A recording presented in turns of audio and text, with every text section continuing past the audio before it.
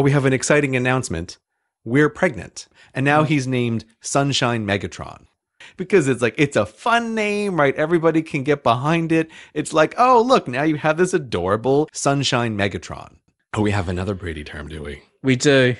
I am not a fan of it. I don't want to offend anyone, but Look at you. Look at you being all diplomatic. well, you've got you know you you have to be. Sometimes you have to be. I, I don't think you have to be. I, I think it's better to say Mr. Splashy Pants. it, it could be called like the face yourself boat, right? Like that's what it could be called. I think you just used your full quota of beeps for the episode there. Yeah, but like that could easily happen, right? easily.